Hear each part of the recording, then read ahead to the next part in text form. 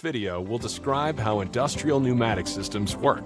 These five types of components represent the most common elements used in these systems. The ultimate goal of this entire collection of components, in most cases, is to create motion that will do some type of work in an industrial setting. Pneumatics is one of the most widely used technologies to automate repetitive processes. Some common applications might be to move product from one place to another, or to press or clamp pieces of a product together. To best understand how the system works, we will start at the beginning with the compressor and follow the process through to the end goal of motion. The compressor generates the energy that powers the system in the form of compressed air. In order to generate compressed air, the compressor draws in atmosphere from its surroundings and squeezes it or confines it into a smaller space, creating the energy needed to drive the system. Once compressed, the air needs to be dried and cleaned so that harmful particulates such as rust or dirt does not clog up the moving parts in the system. The compressed air will travel through a tube or line to the next component, called an air preparation unit, or FRL. FRL is short for filter, regulator, and lubricator, which are common pieces that make up the air preparation unit. Typically, the first unit in the air preparation system is what is called a bulk liquid separator, which circulates or spins the air using specially shaped vanes. The rapid circulation of the pressurized air sheds unwanted moisture due to centrifugal force. The next unit is a filter, which further removes particulate and moisture in a two-stage process. Just like in the bulk liquid separator, a series of vanes or louvers in the filter circulates the air in the first stage. In the second stage, the air passes through a screen of sorts, called an element, in order to catch unwanted debris. Once dried and cleaned, it is common to adjust the level of air pressure coming out of the compressor. This adjustment has an impact on how much force the system generates. Higher pressure allows the actuator to put out more force, and lower pressure creates less force. The regulator achieves this using a spring-loaded assembly. The knob on the regulator adjusts the force of the control spring to achieve a desired pressure set point. Whenever the downstream pressure level drops lower than the desired set point, the poppet, or internal valve, opens a pathway for the higher pressure upstream to flow downstream. This continues until the pressure in the system reaches the regulator's set pressure. At this point, the poppet or internal valve closes until there is a new downstream demand. It is also common to have a pressure gauge on a regulator so the user can monitor downstream pressure. Finally, in specific applications, such as air motors or pneumatic tools, a lubricator can be added to distribute a fine mist of lubricant into the compressed air to help lubricate downstream components. Now that the compressed air is clean, dry, and set to the correct pressure for the application, the next step is to direct it where to go to create motion. A directional control valve is used to achieve this task. This directional control valve has a series of internal pathways that can connect the air coming into the inlet port with one of two avenues to leave the valve, called working ports. Depending on the position of the moving element, which is typically called a spool, the air will be blocked from traveling down one pathway and allowed to travel down the other. The high spots on the spool, called lands, will block the air from proceeding down one path, while the lower sections on the spool, called grooves, will allow air to flow around them and proceed to one of the working ports. In this common type of valve, when the unit is not activated, the spool is forced to the left side of the valve by a spring. In this position, you can see that this land blocks air from going out the number 4 working port, and instead is forced to go out working port number 2, because the grooved lower section of the spool allows air to flow past it and out to the number 2 working port. In order to change the direction of the air to the number 4 working port, the valve needs to be turned on. In most automated equipment, a PLC or programmable logic controller will instruct the valve to shift using an electrical signal. When the signal arrives at a portion of the valve called a solenoid coil, a magnetic field is created that pulls a cylindrical piece called a plunger towards it. When that plunger is unseated, it allows air from inside the valve, known as pilot pressure, to push the spool to the right. Once the spool reaches the far right side of the valve, the lands or high spots are now closing off the passage to the number 2 working port and instead directing the compressed air to flow to the number 4 working port. When the signal from the PLC is removed, the force generated by the electromagnet is also removed, at which point the spring on the plunger returns it to its normal state, which removes the air signal that is pushing on the spool. The spring on the opposite end will return the spool to its default position once again, directing air back out the number 2 working port. The PLC can now direct air to whichever port is needed whenever it is needed. The next component in the system, the actuator, will allow us to do some useful work with the air we compressed, cleaned, and redirected. In most applications, the purpose of changing the direction of the compressed air with the valve is to cause motion in different directions. Parker makes a wide variety of actuators, or cylinders as they are also commonly called, that will convert compressed air into motion. The most common type of cylinder is the rodded variety displayed here. The actuator will create motion using the energy of the compressed air that is supplied to it by the directional control valve. We can see that the working port number 4 is connected to the back or cap end of the cylinder. When the compressed air pushes on the piston, it is forced to move forward inside a hollow cylinder that is commonly called the body. The piston is attached to a rod that will extend as a result of the force generated by the compressed air acting on the piston. The actuator will continue to move in that direction until it reaches its physical limit, or if the force resisting motion, commonly called the load, is higher than the force of the compressed air, in which case the pressure regulator could be adjusted to a higher pressure. Now that we have completed the extension, we will need a method to retract the actuator to its original position. The directional control valve will achieve this by changing the direction the compressed air flows from number 4 working port to the number 2 working port. The number 2 working port is connecting to the head end of the actuator, and when the compressed air pushes on the opposite side of the piston, it will reverse the direction of the piston rod assembly. This reverse motion is typically referred to as retracting. For this actuator to retract, the air that is already filling the cylinder needs to go somewhere, which is commonly referred to as exhausting. The exhaust air is illustrated by the red color and is shown exiting the cylinder and flowing back through the valve, out the muffler, to the atmosphere. This system can repeat this process as often as the PLC tells it to move things from point A to point B in one example. In this example, the PLC is telling the actuator to move this product by sending a signal to the directional control valve, which is using the clean, dry compressed energy to power the actuator. Pneumatics are also commonly used to press two components together in an assembly process to help form a finished good through the combination of Parker's air preparation. Hi, today we will see a short lecture on basic component of pneumatic system. So as you can see in this uh, first slide, uh, that's uh, showing a complete pneumatic system started from air compressor, air receiver, dryer, service unit, control valve and also actuator. The dotted box shows the air supply and conditioning element. So meaning that's the place where the compressed air is produced and also uh, prepared before passed to the system. Here we will see uh, each element of this uh, pneumatic system. So it's a very important and commonly asked question in exam. So I hope you can pay some attention. Okay, so the first part will be air compressor okay this is the place where the compressed air is generated okay as you can see in this uh, image here. So this is the uh, physical image of uh, uh air compressor available air compressor. Okay so what air compressor normally does it will convert a mechanical energy from the electric or combustion motor and it will change to a potential energy that can be used uh, in the pneumatic system.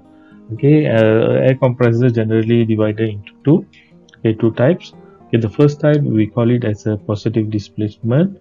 So it's generally use a decreasing volume concept in order to generate the output pressure.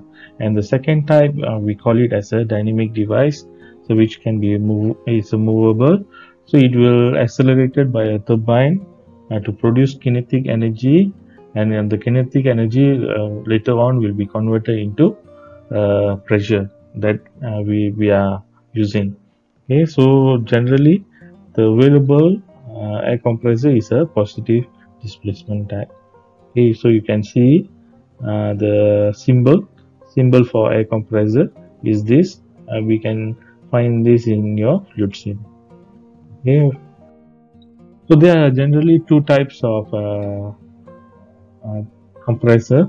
Okay uh, the first type is a piston type compressor and uh, it divided into single stage and also multi stage the single stage has a working range it can generate uh, air uh, in uh, 3 to 7 bar range of uh, pressure. Okay so it's a it's useful for a smaller system pneumatic system which uh, requires 3 to 7 bars. Uh, and uh, what it does you, you, can see in this uh, picture so the air will enter air will enter to the piston. So piston when it move okay when it move downwards okay air will enter. Then it will comp it will move uh, the piston will move up upwards. So uh, because of the reducing volume so the air will be compressed and it will be sent out to uh, air outlet. Okay so the pictures are showing how it is done. Okay. So the second type of uh, piston type compressor. Okay piston type is the commonly used uh, type of compressor. Okay so the second type is a multi-stage compressor. So as you can see it involves uh, two or more pistons. Here two or more pistons. So the first stage uh, similar like just now. Uh, so the air inlet when the piston is moving downward so because uh, more volume available so the air will be pushed inside. So it's a fully mechanical. Okay once the piston is moving up the first stage piston is moving up so the uh, pressure will be the air will be pressurized and sent to the second piston. So in between you can see uh, uh, intercooler. So intercooler is actually a, a, place where the temperature of the compressed air will be reduced. Okay so it's a it's a common question also. Okay in the exam what's the function of intercooler? So make sure you understand and uh, find out uh, what uh, intercooler does. Okay then after the air or the compressed air is uh, cool it will pass to the second uh, stage piston so which normally will generate a higher pressure. Okay so the multi-stage compressor uh, can produce uh, pressure up to 250 bars. Okay in the four stages. Okay 250 bar is actually very big. Okay so if your application requires a higher pressure so you can consider multi-stage uh, compressor. Yes so this is the working principle of multi-stage uh, reciprocating compressor. Okay so you can see follow the arrow. Okay how it is done. Okay so the air, atmospheric air will enter. So similar when the piston move downward air will enter. Then it will compress and send to the intercooler. Okay before uh, the temperature is reduced and passed to the uh, second stroke stroke of piston so so this is the multi-stage reciprocating compressor. Okay uh, there are various stages various uh, components available. Okay so multi-stage reciprocating compressor normally we can see in uh, factories and a smaller version you always can see in the night market pasar malam okay so this is on the uh, piston type compressor okay. We, we will see. Obviously why when piston type compressor are used surely it has its own advantages and also disadvantages. Okay we will see the, advantages of a piston type compressor first. Okay piston type compressor are available in wide range of capacity and pressure. Um, since a pneumatic can be used from as low or uh, of uh, 5 to 7 bar up to 250 bar. Okay so it has a very wide range of uh, pressure available. So depends on your application you can decide uh, how you want where you want the piston to be used. So based on that it has a flexibility for you to uh, use. Okay and uh, the second advantage will be it can be used for high air pressure up to 250 bars. Okay and it, it, it is uh, possible uh, via multi-staging. Ah, okay. So overall efficiency is better compared to the other type of compressors. Okay and obviously it will come with uh, some disadvantages. Okay so since the piston compressor generate inertia okay inertia the uh, so it will shake the machine. The compressor will shake. So you need to have an extra fitting okay? Uh, you need to have an extra frame or you need to drill to the particular floor so that it won't move much okay? And obviously when it moves much it will start to produce noise which will cause a discomfort okay? So that's the first disadvantage. And the second disadvantage is it can uh, start to produce pulsating flow of air. So meaning the airflow is not fixed. Okay so uh, sometimes similar like our water pressure sometimes it will be fast sometimes it will be slow. So depends on your application. If your application requires a constant uh, flow of air so you need to have uh, additional damping chambers uh, or receiver tanks uh, in order to here. okay. So then we have a diaphragm type of compressor. Okay diaphragm if you see in this picture so you have a hydraulic fluid in and also hydraulic fluid out. So when the hydraulic fluid in so the diaphragm will uh, move downward and the air will be entered. And also uh, when the piston moves up the diaphragm will move up and also the it will help in the outlet. So where this diaphragm type compressor will be used? It will be used in a place where uh, the contamination is undesired okay especially in the food uh, and pharmaceutical and chemical industry where small small dirts in the pneumatic system will cause a lot of damage okay so in that case you can consider using a diaphragm type of compressor. Okay? And uh, apart from this uh, piston type and also diaphragm type so you have other types of compressor like a rotary rotary compressor. So i i don't discuss it here. So you can refer it in the lecture note. Okay? So uh, that's the first component. Okay? The compressor now we move to the component second component. So once the air is compressed it will pass down to air receiver tank. Okay so from the name itself you know that it will receive and store the air compressed air in order to be used uh, in a different uh, application. Okay so air receiver provide constant air pressure. So similar like how i was saying earlier uh, when you have a pulsating air uh, it can disrupt your system. So you need to keep the compressor in a tank and from the tank you can continuously give a constant air pressure. Okay so that's the main function of a receiver tank. And it, another function of receiver tank is a emergency supply. Okay so in case your main supply is a block so you can have a supply from an emergency tank in order to uh, supply to your system. So uh, there uh, it can be an alternative for power failure conditions. Okay and the selection of air tank is uh, depending on the application. Okay since uh, if your system is very big so you might need a receiver tank a bigger receiver tank. Okay so it depends on your application. Okay so this is a typical uh, air receiver tank. Okay so it has an inlet can it has a outlet. Outlet is connected to shut off valve. Shut off valve is a, a, valve that you can control the speed uh, and also the amount of compressed air to be released. And you have a thermometer okay so to check the temperature of the compressed air.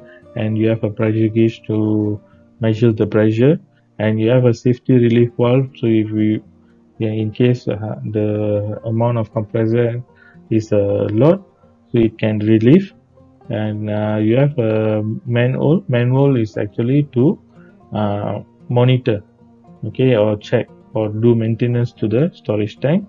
And you have a drain drain hole as well, okay so four main functions.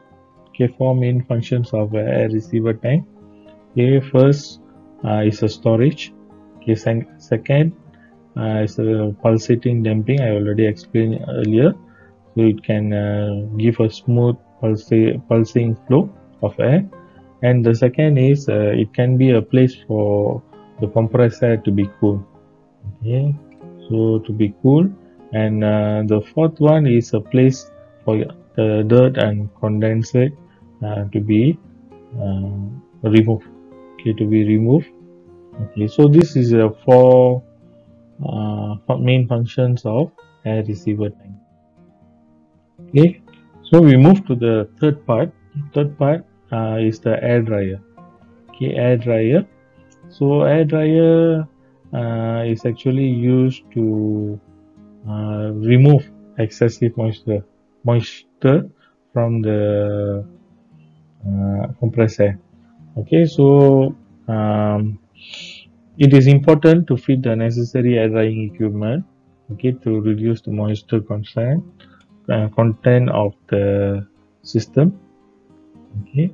Because uh, some system uh, cannot have uh, moisture inside your compressor especially if it use uh, iron uh, iron bar or which can produce rust in your system and because of the rust the system can be blocked. Okay so it's it's purely depend on your system. So it's always good to dry the air before supply to the main system.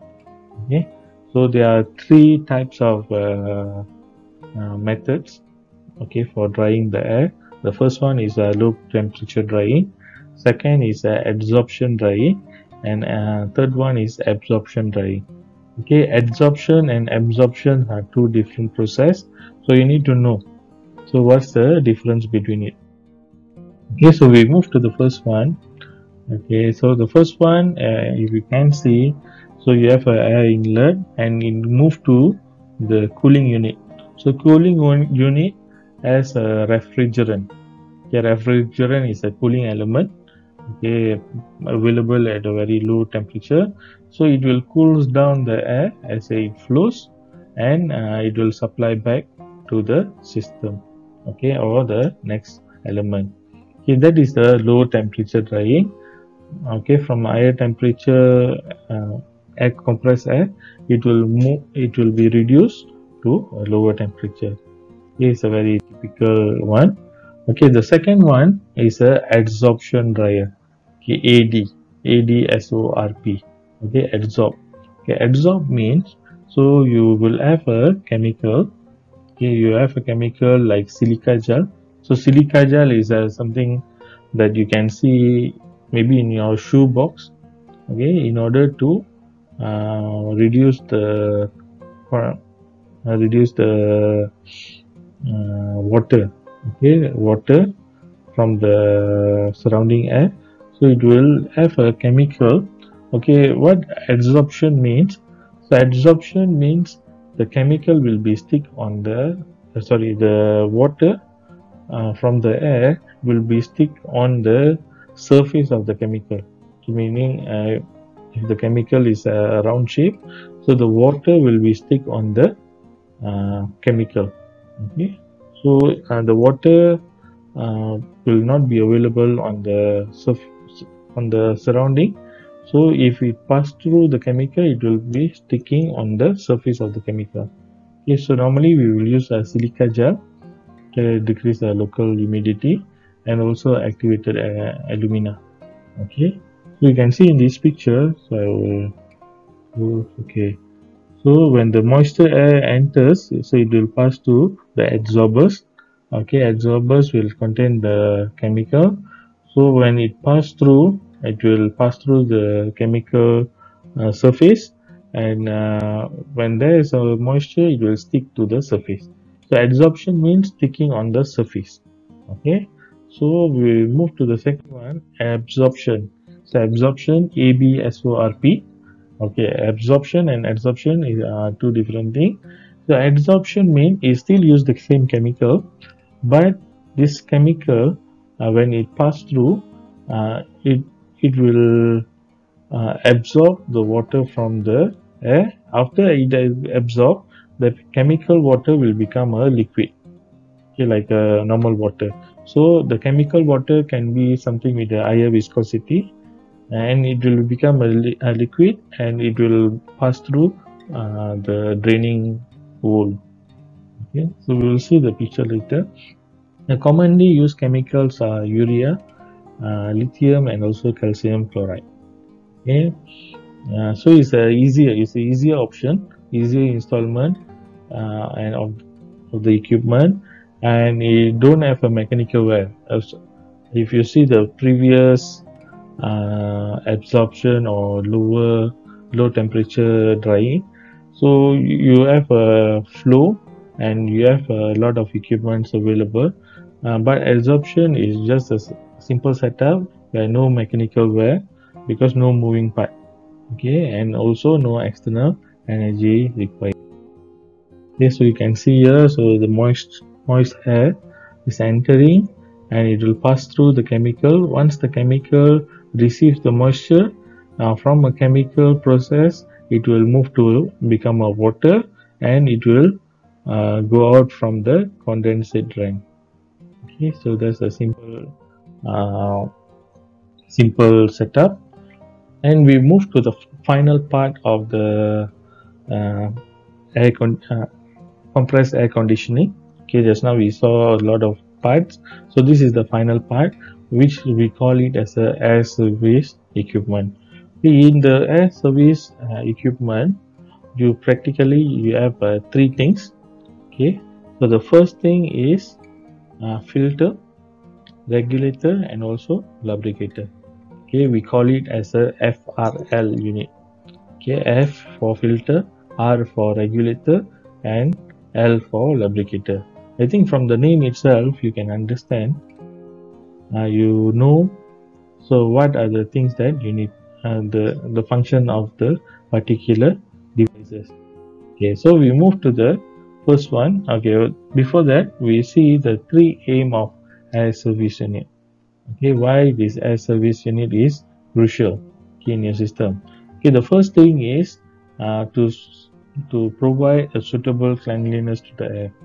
Okay so all the unwanted things you want to produce a, a good uh, compressed air to your pneumatic system.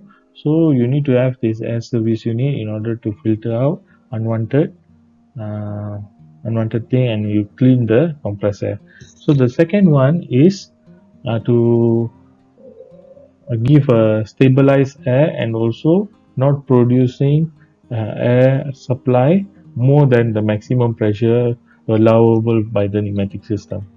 Okay so meaning you regulate you control the pressure so that it is suitable for your pneumatic system. If not the the devices or equipment in your pneumatic system might get spoiled when you produce a lot of pressure okay and third one is uh, lubricating oil. Okay so uh, you your compressed air must have a little bit of uh, lubricating oil so that uh, the pistons or the actuators in your pneumatic system can have a smooth uh, flow. Okay so it's not uh, stuck in between uh, because of no oil so normally we know the function of oil is to uh, smoothen the reduce the friction and also provide a smooth uh, uh, smooth uh, how to say so it will produce a smooth movement. Okay? So the function of a lubricator is actually to lubricate the valve and also actuators okay, in the system. Okay? So that's the uh, th three uh, important aims of the system. So you can see the first one. Okay. So the first one is the filter. So this is how the filter looks like. Okay similar like our water filter in the room. So the air will enter and it will have a filter layer in order to filter out unwanted contaminants okay from the system. And the second part is your uh, lubricator. The lubricator uh, sorry second one is your regulator. So regulator will uh, control the temperature. Okay. If you set it's only allowable 100 bar so it will only allow 100 bar of airflow okay into the system. And the final one is the lubricator. So it clean dehydrate regulated uh, lubricated compressed air for cylinder valve uh, tools and also motor okay so this is the symbol.